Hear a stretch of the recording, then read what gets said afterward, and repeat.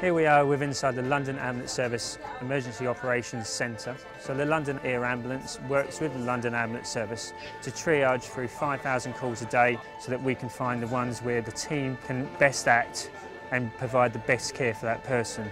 Time is the most crucial determinant of outcome in when someone is badly injured and literally a minute can be the difference between someone being severely disabled as a result of their injuries or in fact dead as a result of their injuries. Any seconds that we can save within the dispatch process will potentially save that person's life.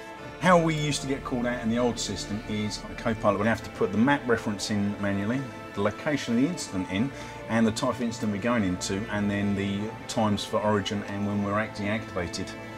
And then he'd have to print them out. Take a lot of time. At EE we're really proud of the association that we've got with the London Air Ambulance and we've had that for a couple of years. But we've managed to take that a step further with the association with Mubaloo and the Connected App Service. So we've managed to take the information from the London Ambulance Service and get that through to London Air Ambulance in a much quicker way. It's allowing us to free up time, so whereas before we had to verbally give it over the telephone, whereas now that this is done electronically, it's near on instant information going to the team. One of the real advantages of the app is if we get another job once we're out in the field. We used to get a call on the radio and we'd receive all the information over the radio. Now all that happens is we get a single call and all the information is there in front of us.